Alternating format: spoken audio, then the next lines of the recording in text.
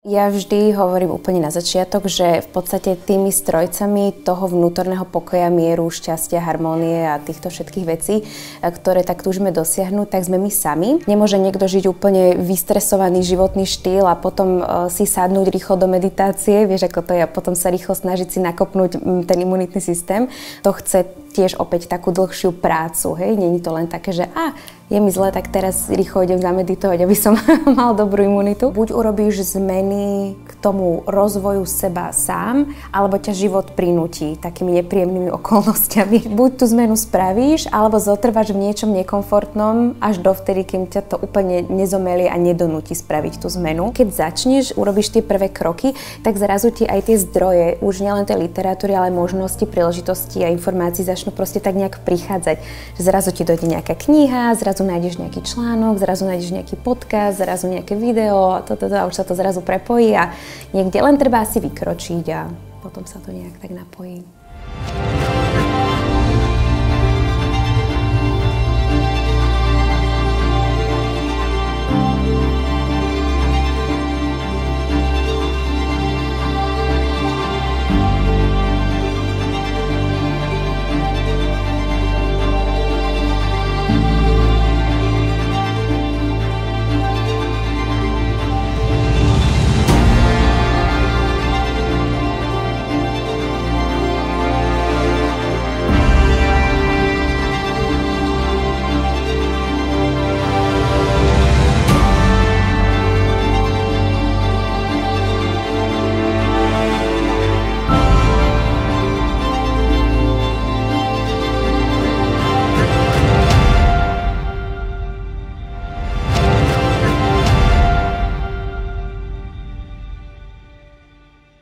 Krásny deň priatelia a verím, že pozitívny, alebo aj keď nie je pozitívny, tak uh, radi by sme vám dneska s mojim hostom priniesli uh, trochu tej pozitívnej energie a inšpirácie z oblasti kontroly tela a mysle a vítam vás pri ďalšom počúvaní, sledovaní podcastu Powerlogy. Moje meno je Dušan Plichta a dnes je mi cťou privítať krásneho žiariaceho hostia Vierku Ajsi. Ďakujem krásne. Zakladateľku Ahojte. agentúry InSpirit a človeka, ktorý pracuje s ľuďmi cez rôzne nástroje a pomáha ľuďom takisto sa dostať do rovnováhy, kultivovať tú rovnováhu a žiť ten život v takom svetle a zdraví. Tak Vierka, vítaj u nás. Ďakujem veľmi pekne a ďakujem za krásne predstavenie takých pozitívnych prívlastkov. ďakujem tak a ja, ja prezradím, prečo si tu, že vlastne ja si tak pozývam hostí, uh, u ktorých cítim takú rezonanciu, alebo že niečím ma to oslovilo, viete. A a cítim to tak, že, že mám tu možnosť to s vami zdieľať a môže to byť e, taká, takou užitočnou informáciou, ktorú si človek v tom nájde niečím, čo možno aj má v sebe, ale nevidí to a teraz cez toho hostia, alebo ten, ten niekto, koho stretne, mu to mhm. odomkne. Aha. Ja som sa s tebou stretol na konferencii, kde sme obidvaja uh, prednášali uh-huh. a ty si tam uh, vlastne rozprávala o tom, ako realizuješ pobyty, na čo sú vhodné a že vlastne ako väčšinou ženy so sebou zoberieš v podstate niekde do Thajska alebo aj do Dubaja alebo na rôzne miesta zaujímavé a že tam cvičíte jogu, ale že sa aj tak rozprávate a pracujete s mysľou. Mm-hmm. A to mňa veľmi oslovilo a potom si mala takú môžeme to nazvať meditácia, alebo ja by som to skôr nazval také, také mentálne cvičenie. A, a som si to tak, uh, som si povedal, že tak idem sa do toho tak uvoľniť a si to tak precítim. A, a krásne mi, mi prišla taká, taký ten pocit uh, kľudu mm-hmm. a takého, takej dobrej energie. Ale to som rada. Takže to som zažil a som si povedal, že wow, že to je super. A teraz vlastne, keď som vyberal tak hostí, Mm-hmm. Tak som si, som si tak spomenul, že, že potrebujeme trošku takej tej, takého kľudu a tej energie, takže že Vierka by nám mohla o tom povedať. Tak, tak ďakujem veľmi pekne. Ešte raz za krásne Tak povedz mi, že, že o čom to je, hej? že, že tá, tá, ten typ meditácie alebo tej práce s mysľou, ktorú ty robíš, mm-hmm. že, že čo je tá podstata toho, že zrazu ty vieš tak naviesť človeka hej, a to počúva slova, trošku sa tak začne vciťovať a, a sa cíti lepšie. Mm-hmm. Tak uh, ja vždy hovorím úplne na začiatok, že v podstate tými strojcami toho vnútorného pokoja, mieru, šťastia, harmónie a týchto všetkých vecí, e, ktoré tak túžime dosiahnuť, tak sme my sami. Ale niekedy zabudneme na tú cestu, ako sa k tomu um, bodu dostať, ako nájsť taký ten vnútorný balans a vtedy prichádza niekto, kto nám len posunie ten návod. Takže ja tú prácu za nikoho, ako si aj povedala napríklad na tej um, ukážke, tej mojej meditácie.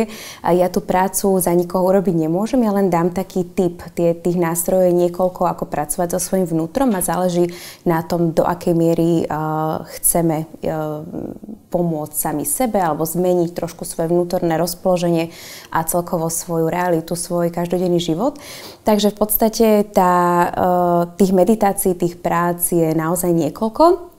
V podstate môžeme pracovať na základe synchronizácie našej mysle s našimi emóciami, čo je v podstate podľa najnovších vedeckých výskumov a neuroplasticity a teda práce a poznaniu mozgu, tak je to v podstate taký jeden skvelý spôsob na to, ako prepojiť, vlastne naladiť si svoje myšlienky na svoje emócie. Môžeme taktiež aj e, bežnou relaxačnou vizualizačnou meditáciou dospieť k pokoju, mieru, harmonii, taktiež zvukoterapiou alebo jogou. Takže ja sa venujem rôznym týmto aspektom, či už tej, tej, tej telesnej pohode alebo teda využívaním tých e, nástrojov, tých gongov, misiek a podobne, až teda po tú vyslovene zameranú prácu, že si ideme teraz zmeniť trošku svoje myšlienkové vzorce, myšlienkové programy a tam už je to presne ako bolo napríklad na tej ukážke tej meditácii, sa musíš trošičku viacej sústrediť. Ale je za tým celá veda, celá technika toho, ako, ako to správne robiť, čo sa nedá tak dobre opísať v takom kratučkom čase.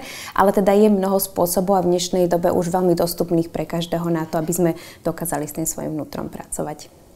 Skvelé, skvelé. To, to, toto je práve tá oblasť, ktorá mňa fascinuje. A, a povedz mi teraz, že trošku si myslím, že, že aj rozumiem, ale aj mám trošku strach, že si povedala, že zladiť myseľ a emócie. Mm-hmm. A mhm. teraz poviem, že ten praktický príklad, že mám blbé myšlienky mm-hmm. a z toho mi vznikajú rôzne emócie. Dajme tomu, mám stres, ako sa hovorí všeobecne. Mm a môže to byť hnev, alebo úzkosť, alebo taký, že strach z budúcnosti, uh-huh. čo je vlastne tá nejaká, nejaký typ úzkosti. Uh-huh. A, a t- keď ty mi povieš, že zladiť aj vlastne emócie a mysle, tak môžem to zladiť akože v tých negatívnych veciach, alebo čo, ako to zladiť, myslíš? Že, že... Áno, zladiť, alebo tá synchronizácia medzi tou myslou a tými emóciami spočíva v tom, že my pri každej jednej spontánnej myšlienke vytvárame neurónové spoje v našom mozgu a čím viacej využívame tú danú oblasť mozgu a spájame tie dané neuróny, tak tým viac upevňujeme také tie ich chápadla v m, takom akože laickom uh, slovoslede.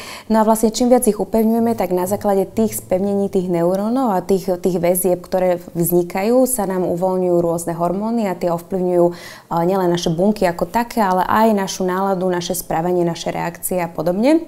To znamená, že ako náhle my začneme rozmýšľať inak, tak takisto aj náš mozog začne vylúčovať ten iný koktail hormónov a my sa automaticky začneme teda cítiť inak. A vlastne v dlhodobejšej práci, keďže v našej mysli sú a mozgové bunky, ktoré, sa, ktoré vlastne prechádzajú troma rôznymi zmenami a to sú funkčné, štruktúrálne alebo teda chemické, štruktúrálne a funkčné.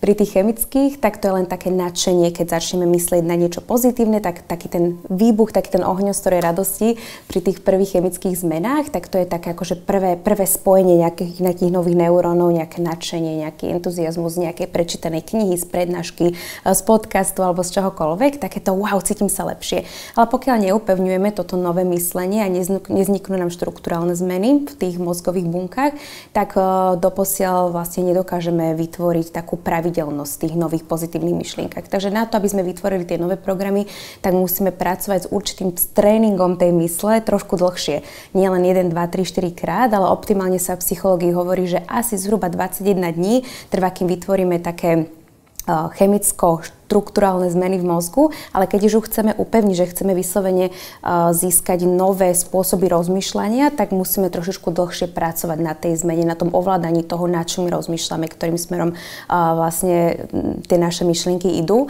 No a to trvá zhruba 3x21 dní. Takže samozrejme to závisí od, od problému, ktorý chceme v sebe zmeniť, alebo niektorí ľudia prechádzajú naozaj ťažkými traumatickými zážitkami, čo ovplyvňujú samozrejme to, alebo ovplyvňujú ako rozmýšľame. To znamená, že to nezmeníme asi v tej istej rovine ako uh, nejaký zlozvyk niekoho, kto nemá traumatický ale, ale je to tá zážitok. cesta, že aj niektorú traumu ako keby spracovávam. Áno, hej, hej, určite. Len hovorím, niektoré traumy sú veľmi hlboké, ale tak to už je potom uh, vyslovene taká psychologická téma, že na to sa už používajú potom aj iné techniky. Napríklad uh, CBT, hej, uh, to je vlastne um, spôsob, ako meniť kognitívno um, také kognitívne správanie. Hej, ale to už sú vyslovene také iné techniky. Ale taký základ, keď sa chceme e, v podstate sami seba niekam posunúť v tom myslení a chceme vytvoriť trošku také dlhodobejšie, funkčnejšie zmeny v tom mozgu, že to naozaj je všetkými tým prístrojmi potom merateľné, že naozaj rozmýšľame inak a zapájame pri rozmýšľaní iné časti mozgu, tak musíme pracovať na tom rozmýšľaní dlhšie. Nie len tak, že si niečo prečítame, niečo vypočujeme a už potom za 3 dní zabudneme. Takže a to vlastne ovplyvňuje potom teda ten, e, tie hormóny v našom tele a to, ako sa cítime, ale naša ľudské telo nepracuje len tak, že len naša mysel ovplyvňuje to, ako sa cítime a to, ako, akým spôsobom fyzionomicky fungujeme, ale aj naše telo dáva impulzy do mozgu, sej, takisto ako mozog do tela a takisto naša emocia dokáže spustiť myšlienku, nie len myšlienka spúšťa emóciu. Takže tam je viacero tých vrstiev, ktoré treba podchytiť. Wow, čiže vlastne je to taká, ako sa hovorí, harmonia tela a mysle. To mm-hmm. znamená, že telo programuje myseľ, ale aj opačne. Áno. Čiže ja viem mm-hmm. vstúpiť do, napríklad je to, správne to chápem, že mám horšiu náladu, ale idem si zacvičiť jogu, mm-hmm. tým pádom ano. ako začnem pracovať s telom a potom mám lepšiu náladu Áno, a určite. lepšie myšlienky. Práve kvôli tomu, že sa vyplavia v tele vlastne úplne iné um, šťavy na to, aby, aby telo vlastne vysielalo ten signál, aby sa mozog, teda mozog Alebo opačne, že, že, že cítim, že ide na mňa choroba, uh-huh. tak si sadnem do meditácie uh-huh. a nejak posilním niečo a myšlienkami a vlastne dám ten organizmus viac do kľudu. Uh-huh. Ja a... si myslím, že čo sa týka imunitného systému, tak tam je to tiež taká dlhodobejšia prax, že nemôže niekto žiť úplne vystresovaný životný štýl a potom uh, si sadnúť rýchlo do meditácie, vieš ako to je, a potom sa rýchlo snažiť si nakopnúť ten imunitný systém, lebo práve ten imunitný systém je prvá vec, ktorá sa zastavuje pri vylúčovaní kortizolu, čo je vlastne stresový hormón. Uh-huh. To znamená, že na to, aby sme mali dlhodobejšie e, dobrú imunitu, tak to chce tiež opäť takú dlhšiu prácu. Hej? Není to len také, že a, je mi zle, tak teraz rýchlo idem zameditovať, aby som mal dobrú imunitu.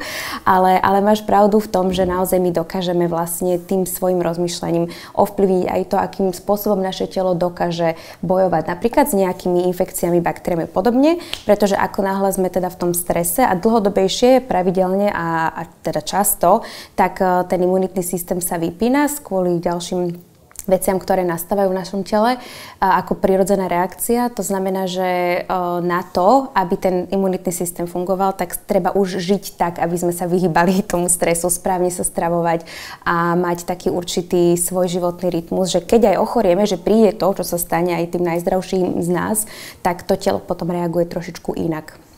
Áno, ale tam by som sa prizastavil pri tom slove, slove vyhýbať sa, že ja to tak mám skôr, že adekvátne zvoliť prostredie Hej. a vybudovať svoju kapacitu, že lepšie zvládať tie stresory, lebo Určite, niekedy je to také, že vieš, ak to funguje z toho princípu, že chceš sa niečomu vyhnúť, tam just mm-hmm. sa ti to v tom živote akože áno, predkladá. Áno, to je pravda. Na jednej strane, hej, že niekedy, keď práve myslíš na, na to, čo myslíš, čomu sa chceš vyhnúť, tak to si priťahuješ. Ale zase na druhej strane tie určité sinusoidy takých veselých a smutných a, a zdravých a chorých momentov v našom živote prirodzene, tie, tie sú v podstate, žijeme na takej planete, v takom, v takom svete, že máme aj zlo, aj dobro, aj tie duality a nemôžeme úplne stále uh, byť len na vrchole svojich síl, na vrchole svojej pozitivity a šťastia a radosti. Takže prídu aj tie momenty, kedy ochorieme, alebo keď už príde veľa stresu, aj keď sa veľmi snažíme ho zvládať. A, a to je asi také prirodzené, ale my sa máme asi tak dostať do takého svojho vnútorného stredu, ako hovorí, že keď aj potom niečo príde, že tie sinusoidy, ktoré nedokážeme ovplyvniť v tom živote, že príde ten down, taký ten moment, tak, e, tak v podstate ho dokážeš zvládať lepšie, pretože vieš, vo svojom vnútri si našiel taký svoj stred a takú tú svoju vnútornú pohodu. Áno, no tak to je, to je fascinujúce. Spýtam sa ešte pre upevnenie. Ty si mhm. spomínala tri veci, že tie bunky sa menia chemicky, to je ten mhm. wow efekt, uh-huh. čo ma najprv inšpiruje, čo je uh-huh. ten prvý krok, potom uh-huh. štruktúrálne, kedy začnem niečo praktizovať uh-huh. a potom ten tretí bod... Funkčné, funkčné funč, zmeny. Uh-huh. Funkčné. Tak to vlastne sa dostávame potom trošku do prepojenia s prístupom funkčnej medicíny, ktorý v podstate uh-huh. cez rôzne kanály a metódy, či už napríklad aj strávy, byliniek, ale aj toho vlastne holistického prístupu, uh-huh. tak sa snaží najprv ako keby chemicky niečo človek zacíti, potom to postupne trénovať a spraviť až tie funkčné zmeny Zvyk. v organizme, uh-huh. ktoré zrazu uh-huh. dostávajú organizmus do rovnováhy. Hej, hej. Takže, takže správne to tak Áno, zapadá? ono to je v podstate vyslovene uh, chemické alebo fyzionomické pomenovanie toho, čo sa v tých bunkách reálne deje a už všetky tie uh, smery výživy a, a pomoci človeku prostredníctvom psychológie, fyzioterapie alebo teda stravy, tak to všetko vzniká na základe toho, že máme dostatočné poznatky o tom, ako ten mozog funguje, takže už sú tieto systémy nastavené tak, aby to bolo čo najlepšie aplikovateľné uh, do nášho tela. Takže všetky tieto um, presne funkčné pomoci človeku a smery tak sú nastavené tak, aby to ten mozog správne sprocesoval, presne aby tam vznikli také tie čo najpevnejšie. To sú akoby nové návyky, aby sme nešli do takých pre niekoho možno nudných vedeckých uh, označení. Tak v podstate ide o to, že si vytvoríme nový návyk. A ešte k tomu, čo si spomínal s tým, že to telo vlastne e, späť vysiela uh, signál vlastne mozgu, tak to máme napríklad princíp do fajčenia. Hej, že keď máš zlozvyk, e, dajme tomu, máš problém s, s prestaním fajčiť, tak, tak najprv vlastne zastavíš teda ten príjem, to, ten mozog sa nejakým spôsobom hej drží, že si to si na to zvyká. Hej, niekoľko dní je ten človek úplne bez cigarety v pohode, ale potom tým, že naše telo je tak veľmi podmienené už tomu stavu, ktorý mu prinášame, napríklad tým fajčením, tak si to začne to telo spätne pýtať. A preto je pre veľa ľudí uh, problém, napríklad, a to iba v skratke vysvetľujem, lebo ten chemický proces by sa dal hej, hej, dlhšie, dlhšie vysvetľovať trošku, že čo sa vlastne deje v tom mozgu a tak ďalej. Ale teda my keď ako odoprieme telu uh, nikotín, hej, ten návyk, tak hovorím, najprv sa tak držíš, ale potom po, po, chvíľky, to, po chvíľke to telo začne vysielať veľmi silný signál, že čo sa deje, veď o takomto čase už mala byť cigaretka. Takže vlastne potom ten človek väčšinou prelomí takú tú, takú tú zmenu a vráti sa späť napríklad k tej cigarete, lebo to telo si to začne pýtať späť. Takže nie je to len o tom, že zastavíš ten zvyk a zastavíš tú mysel, ale aj to telo treba prenastaviť, lebo ono je podmienené určitému spôsobu rozmýšľania alebo zlozvykom, ktoré, no, ktoré má. prenastavím? No to je práve to, že začneš meniť tie svoje myšlenkové vzorce, začneš pracovať na svojej mysli a začneš sa nalaďovať na tú emóciu uh, tej danej myšlienky, ktorú máš. Pretože my nemôžeme myslieť pozitívne a mať pochmurné emócie. Počkaj, počkaj, dobre, áno, ale teraz poďme cez ten konkrétny príklad toho fajčenia. Uh-huh. Čiže chápem, ako si to povedala a teraz, že čiže rozhodne sa niekto, že prestane fajčiť. Uh-huh alebo rieši nejaký zlozvyk, ja neviem, sladkosti, uh-huh. to je mhm. jedno.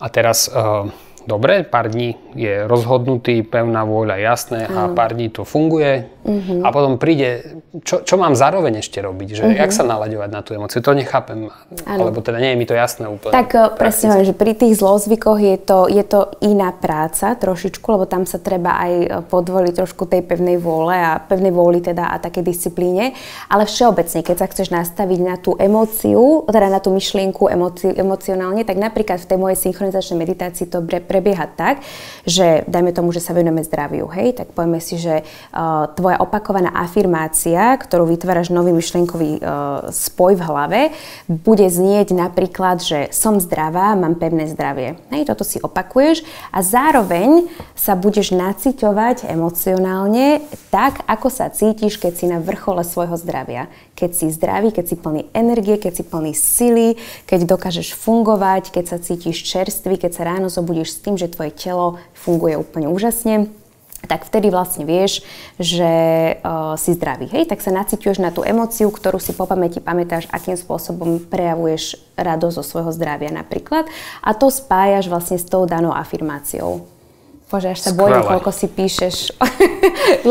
ja, Zachytávaš každé ja si, to, ja, si to, ja si to píšem, lebo o, v podstate ja som tak prišiel na to, že o, lepšie si to potom zapamätám a potrebujem si to zaradiť do, do toho svojho systému, ale potom, aby som sa aj o, pre tých, čo nás počúvajú, o, vedel lepšie zamyslieť na tú otázku, aj, k, ktorú ti dám, čo by mohlo byť.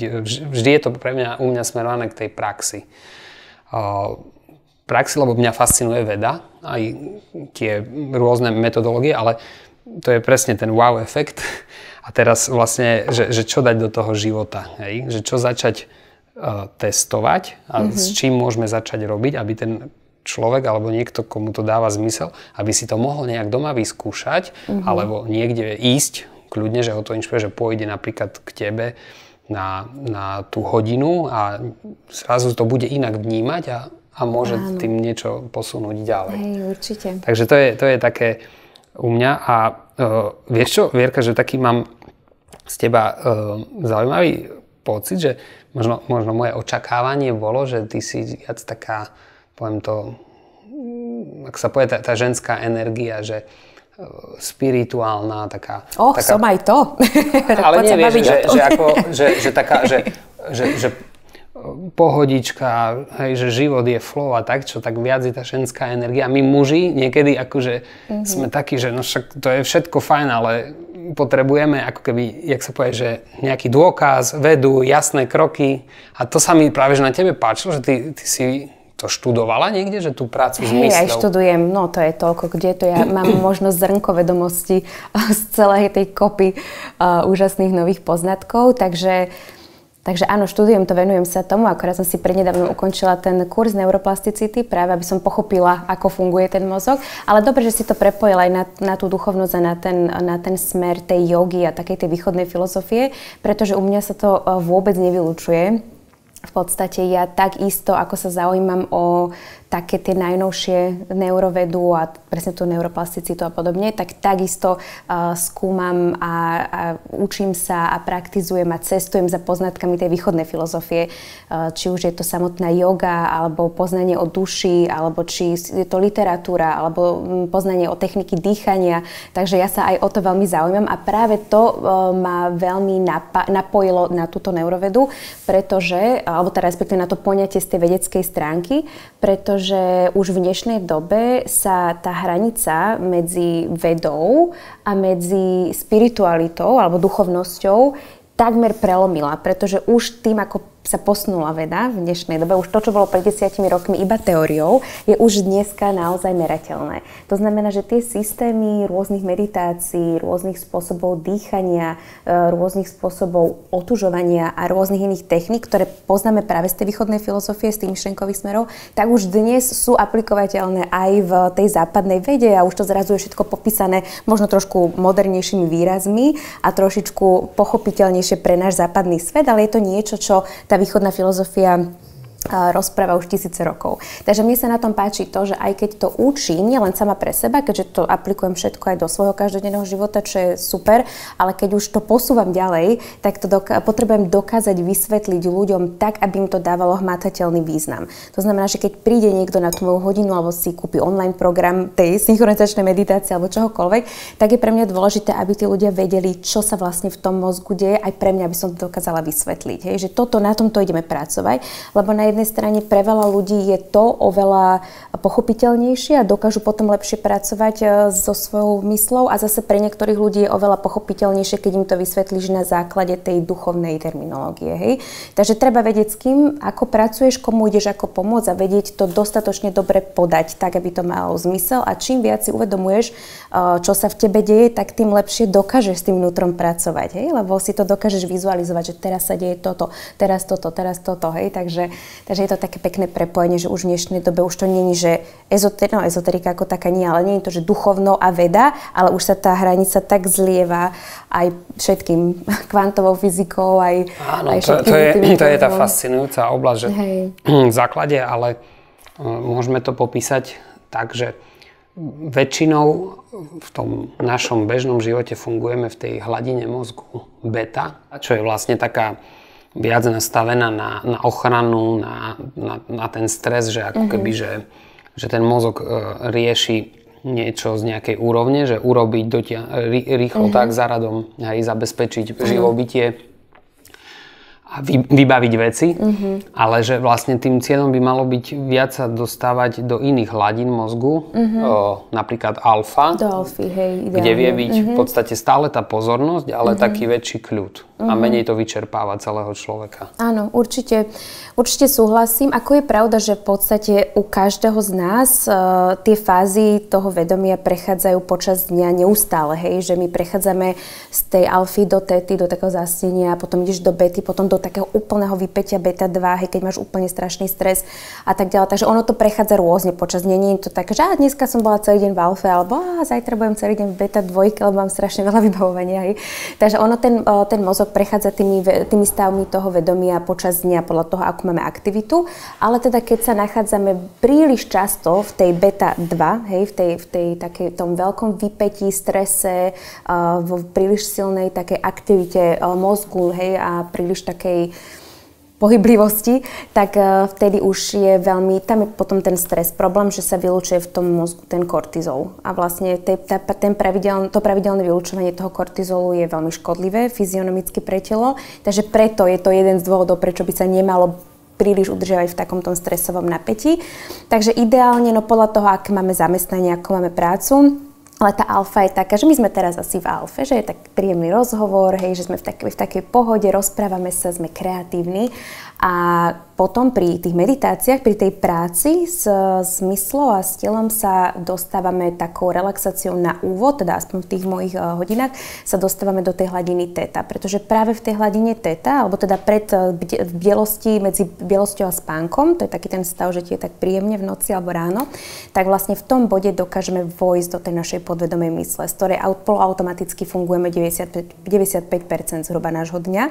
To znamená, že keď chceme urobiť nejaké tie zmeny, a dobre ste ináč prelnul v tej debate, že keď chceme urobiť tie zmeny v tom našom myslení, v rozpoložení a v cítení sa, tak nám pomôže práve tento stav e, hladiny teta. A je to stav takej polohypnozy, ktorý sa používa teda v rámci hypnozy pri psychologických rôznych kúrach a taktiež je to stav, v ktorom prebývajú deti hlavne do toho 7. roka života. Lebo je to taký veľmi vizualizačný tak stav fantázie. Vystrelené v tejto hladine. Ja niečo na nich hovorím, oni sú v inom svete. Áno, oni majú svoj svet, hej. To hej. je úplne krásne mm-hmm. vidno zrazu. David mm-hmm. je chvíľočku tiger, hej, hej. potom je úplne niečo iné a to je sila. Hej, hej, a presne toto je to, že tie deti vlastne do toho 7. roka cca, hej, sú, sú ale nie od narodenia, najprv sú v tej delete, hej, najprv väčšinou teda spinkajú, ale potom v nejakom bode do teda toho 7. roku sú v tej, um, v tej hladine teta. Čo je skvelé kvôli tej vizualizácii a takému rozprávkovému svetu. A zase na druhej strane uh, práve v tej tete oni získavajú najväčšie množstvo informácií do, do, do podvedomia. Hej, presne. Oni skúmajú, sledujú, učia sa. To znamená, preto je veľmi dôležité pre celý život človeka, akým spôsobom vyrastáme v tých prvých 7 rokoch života. To, to ako tie deti oveľa viac vnímajú tie emócie všetko. a rôzne energie. Uh-huh. Oni chytajú absolútne všetko. Oni sú úplne čistý papier, ktorý sa musí naučiť, ako fungovať v tomto systéme pravidiel uh, všetkých zákonov a pravidiel rodiny, školy, priateľstiev a podobne. Takže oni sa všetko učia, všetky tie štruktúry a vlastne to sú tie podedomé vzorce, ktoré si potom vlastne nesú do ďalších rokov života a na základe nich potom robia rozhodnutia vo svojich vzťahoch, vo svojej práci, vo svojich priateľstvách. E, Áno, veď to je, to je na tom fascinujúce, čo mňa tiež tak e, zasiahlo, že priznám sa, že keď som mal e, vlastne mať prvé dieťa, uh-huh.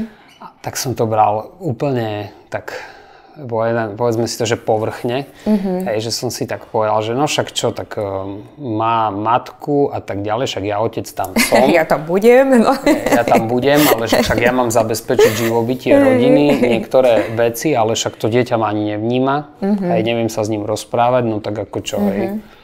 A teraz e, som sa preštudoval, ale zároveň som aj zažil veľmi veľa momentov, že, že vlastne pozerám na to už úplne inak Hej. a vidím ako tú veľkú dôležitosť toho vzťahu aj všetkého a, a tých emócií a tak e, týchto všetkých vecí. Hej. A to mňa tak zaujímalo, že, že, že ako ty vnímaš tie úrovne vnímania uh-huh. detí, môžeme začať od detí, uh-huh. lebo sú, ako hovoríš, asi citlivejšie a senzitívnejšie, otvorené a v porovnaní s dospelými. Uh-huh. A, a že, že ako sú to tie úrovne vnímania, uh-huh. hej? že čo všetko my ako človek vnímame, aké energie Áno. No tak uh, naša uh, podvedomá mysel sa učí trošičku ťažšie ako naša vedomá mysel, pretože podvedome uh, sa dokážeme naučiť iba v tom prípade, že niečo opakujeme znovu a znovu a znovu a znovu. A vedomú mysel dokážeš naučiť uh, čítaním, počúvaním, hmatovým skúmaním a podobne. To znamená, že čokoľvek v našom živote opakujeme znovu a znovu a znovu, tak tým učíme podvedomú mysel, ako rozmýšľať. To znamená, že my ako, hovorím, trošku sa to líši, hej, že nie každý to má úplne percentuálne rovnako, ale tak zhruba 95% z tvojho aj z môjho dňa myslíme v podvedomej mysli. Takže v tej mysli, v ktorej máme tie vzorce, ktoré sme opakovali znovu a znovu a znovu a znovu a iba 5% z nášho dňa myslíme kreatívne. No u niekoho viacej. Hej? Keď má niekto prácu, ktorá je zameraná na kreativitu, tak je to trošku viacej asi ako tých 5%. 5% ako štatisticky je to? Štatisticky 5% vedomá mysl. To znamená, že... Tak to ja mám viac asi. Chvála Bohu. no, no, no. Hej, to každý, každý má podľa toho, čomu sa venuje. Ale teda priemerne tých 5% hmm. je takých, že teraz robíš niečo v prítomnosti a ostatné je všetko automatické. Či je to šoferovanie, raňajkovanie, sprchovanie, stávanie, upratovanie, čokoľvek, všetko je väčšinou v tej podvedomej. Alebo aj sta, e, taká pravidelná, trošičku monotónna práca u niektorých ľudí už sa stane potom vlastne takou podvedomou viac menej. No to znamená, že Takže je veľmi dôležitá tá naša podvedomá mysel a vlastne presne ako sa pýtalo u tých detí, že e, do tých 7 rokov budujeme vlastne ten blueprint, taký ten podklad tej podvedomej mysle a a potom teda tie ďalšie roky života sa vyvíjajú na základe toho, čo, nám, čo nás rodičia, učitelia a priatelia, to naše najbližšie okolie, čo nás naučili. Hej? Takže preto je to veľmi dôležité. Nielen tie informácie, ktoré dieťaťu odozdávaš verbálne, že toto musíš a takto by si mal, ale dávať pozor na tie hrozby, dávať pozor na také, že ty si veľmi zlý a ty si hlúpy a takéto, lebo to všetko zanecháva v podstate nejaké myšlienkové vzorce a potom máš 40-ročného dospelého chlapa, ktorý žije stále vzor, už zabudol to, že niekto mu to niekedy povedal, ale žije v tom vzorci, že som není dosť dobrý, som hlúpy, som zlý. A už to není niečo, čo je racionálne uh, ako evidentne, hej, že ti to povedala mamina, keď si mal 4 roky, lebo si rozlial mlieko, ale zachyt, zachytilo sa ti to niekde vnútri a keď si to ešte počúval viackrát a vo stresovej, emocionálne vypetej situácii, keď si plakal ako dieťa a niekto ti takéto veci v dobrom, samozrejme rodičia tak ako vedia, e, tak robia, uh, rozprával, tak tým pádom to máš proste na celý život. A už aj tie svoje vzťahy si podľa toho vyberáš, už aj tých ľudí si priťahuješ do svojho života, aj tú prácu robíš na základe týchto vecí, takže treba dávať len pozor, akým spôsobom sa s deťmi rozprávame, ale teda nielen na tej verbálnej úrovni, ale aj na tom, ako sa my rozprávame medzi sebou ako dospelí ľudia pred deťmi. Oni vlastne cítia, vidia, kopírujú aj ten spôsob, čo znamená láska, čo znamená manželstvo, čo znamená domácnosť, čo znamenajú priateľstvo. Oni to všetko kopírujú, nasávajú.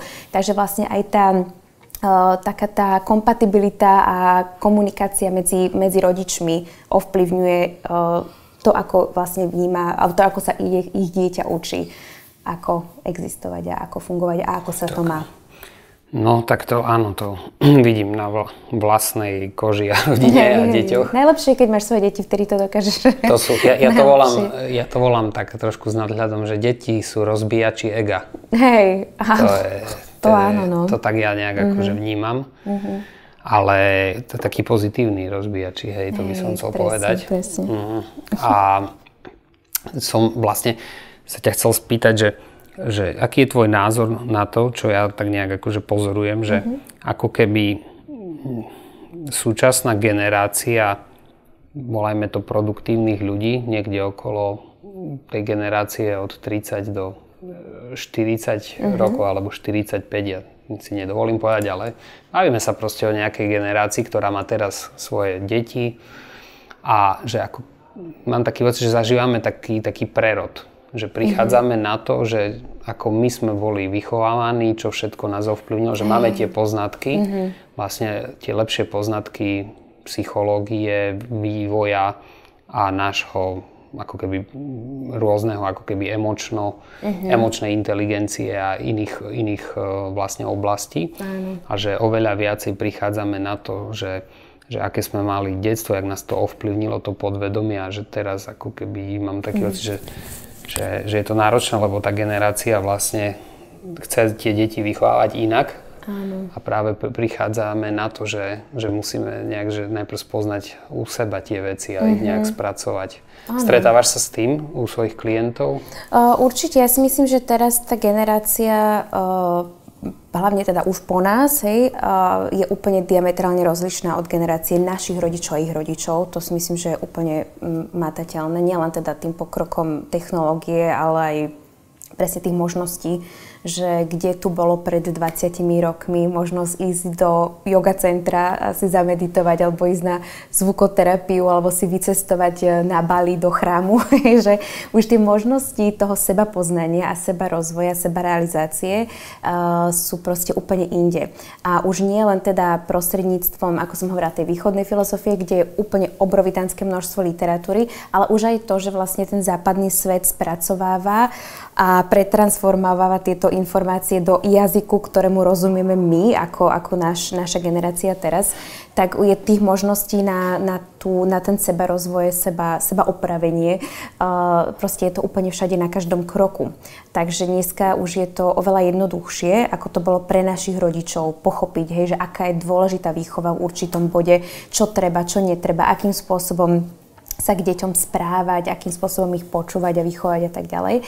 Takže už teraz sa tie techniky aj tie možnosti toho učenia nielen ako pre dospelých ako takých, ale pre dospelých ako rodičov menia. Takže ja si myslím, že teraz je v podstate okrem teda všetkého, čo sa nedieje, alebo teda to nie, nie veľmi pozitívneho, čo sa deje v našom svete, tak umerne s tým podľa mňa rastie aj taká tá možnosť toho rozvoju vnútorného. Čiže v podstate my možno tak hovoríme, že nevieme, čo je dobré ako, a zlé, že len vlastne ten svet sa nám mení a tá mm-hmm. príroda alebo to, čo sa deje, nám ukazuje, že môžeme ísť viac dovnútra a tam hľadať mm-hmm. to nové nastavenie, určite, že určite. ako sa voči tomu postaviť. Mm-hmm. Ono sa hovorí, že buď, e, buď urobíš zmeny uh, k tomu rozvoju seba sám, alebo ťa život prinúti takými nepríjemnými okolnostiami. Tak to je. Hej, hej. Takže buď, buď tú zmenu spravíš, alebo zotrváš v niečom nekomfortnom až dovtedy, kým ťa to úplne nezomeli a nedonúti spraviť tú zmenu, čo nie je najlepšie a najpríjemnejšie. Ale to sa Takže, nám deje. To sa nám väčšinou že deje. Keď to sú vlastne to, keď hej. veľa ľudí až musí ochorieť. Uh-huh, aby pochopilo. A potom ano. zmení ako ten život. Áno, presne. Takže ono, tie, tá zmena sa nastane, teda určite nastane, pretože my ako, ako bytosti ľudské m, mm, sme nastavené tak, aby sme neustále boli v pohybe, aby sme sa neustále menili a neustále posúvali. Nemôžeme nikdy zastať. A keď niekto strašne začne bojovať proti tomu prúdu toho života, tak vtedy začnú do neho náražať také všetky tie úlomky toho a, a začne v podstate uh, kolabovať. Hej? Že či už keď máš príliš uh, napríklad veľké napätie v práci a už je to neznesiteľné a ty stále ideš a ideš a ideš a ideš, až potom ľudia dostanú úplne ten breakdown či kolaps, či ako sa to volá. No keď to Hej, je, to. To, to, tak vnímam. No. Hej, no. To podľa mňa trošku je závislo od našej kultúry, že sme tak nejak vychovávaní, že, uh-huh. že, že zvládneš práca. to a uh-huh. ne, nevzdáš to. A možno nie tak práca, ako keby, že že, že viem, vnímam to tak v tej slovenskej mm-hmm. kultúre, že, že odmakaj to, že nevzdaj sa len tak, Áno. že to akože musíš niečo mm-hmm. zvládnuť. Hej, a, vlastne... a my to ešte nemáme až tak hrozne, keď si zoberieš napríklad tú kultúru v Ázii tej práci, že akým spôsobom oni sú nastavení na pracovanie, aké majú oni pracovné mzdy a hodiny podmienky. no a podmienky. Takže my to ešte nemáme až také strašné, ale je pravda napríklad, že veľa zotrvávame aj v pracovných podmienkach, aj vo vzťahoch, ktoré nefungujú, ale ako ľudia všeobecne, trúfam si kategorizovať akože národ, ale veľa zotrvávame v, v takých situáciách, ktoré nie sú prospešné a to väčšinou vychádza z toho, že uh, práve máme také tie myšlienkové pochody a tie vzorce a tie programy no, tak Napríklad nastavené. ten jeden vzorec môže byť, že, že ako keby teraz ma napadlo, jak si to hovorila, že obeta. Uh-huh. Že vlastne obetu vnímame ako dobrú vec. Uh-huh. Hej, alebo vnímame to, že vydržíme úplne ako kone, takže to znamená, že sme silní, hej, že máme vôľu a disciplínu, ale tak hovorím, keď Všetko neurobiš tú zmenu, hej, keď neurobiš ty zmenu sám, tak tá zmena sa urobí za teba a vtedy je to také drastickejšie. Ale, ale teda iba späť k tomu, že určite je tu veľmi veľa e, možností na to, ako sa posunúť. Takže keď chce niekto a vyhľadáva, nie, že chcem urobiť zmenu a neviem, kde začať, tak je mnoha, mnoho spôsobov, kde začať. A ako náhle, podľa mňa to, to mi asi dáš za pravdu, že keď začneš, urobíš tie prvé kroky, tak zrazu ti aj tie zdroje, už nielen tej literatúry, ale možnosti, príležitosti a informácií začnú proste tak nejak prichádzať. Zrazu ti dojde nejaká kniha, zrazu nájdeš nejaký článok, zrazu nájdeš nejaký podcast, zrazu nejaké video a, to, to, to, a už sa to zrazu prepojí a niekde len treba asi vykročiť a potom sa to nejak tak napojí. Áno, tak, tak to je, ďakujem a mm, na záver ja by som len tak mm, chcel vedieť tvoj pohľad, že mm-hmm. myslím si, že veľmi pekne si popísala, že tá prvotná inšpirácia tam je, ale chcel by som ľudí posilniť k tomu, aby sa keby nehambili a vykročili tam, kde to cítia, že vypýtať si pomoc alebo nájsť mm-hmm. sprievodcu mm, pomocníka, hej, ísť mm-hmm. niekde začať. Ako hovorí, že, že myslím si, že podľa mňa niekedy v tom živote pár ľudí to vie dať samo, ale myslím si, že to môže byť tak náročné, mm-hmm. že, že, že tak ten učiteľ alebo nejaký tréner je na to vhodný. Mm-hmm. Aké sú tvoje skúsenosti s tým, že či, či ľudia to dali sami, koľko mm-hmm. poznáš, alebo ak, aký je tam ten o, optimálny uh-huh. prístup? Uh, tak ja si myslím, že mnoho vecí sa dá zvládnuť uh, vo svojej vlastnej režii, že ako som aj spomínala na začiatku, že nikto za teba tú prácu neurobí, takže veľa vecí je takých, že môžeš začať chodiť pomaličky na tú jogu, môžeš sa začať trošku lepšie stravovať kročik po kročiku, môžeš si urobiť nejaký, uh, ja neviem, kurz presne meditácii alebo urobiť si taký, uh, takú týždňovú 10-dňovú alebo výzvu, alebo tých možností je veľa. Takže do určitých e, vrstiev e, a na základe, záleží to od tvojho problému samozrejme, alebo od tých zmien, ktoré sa snažíš dosiahnuť, tak si môžeš na základe toho, že už je to všade, e, nájsť takého učiteľa alebo, alebo systém alebo stravovanie, ktoré ti vyhovuje, takže už je to fajn.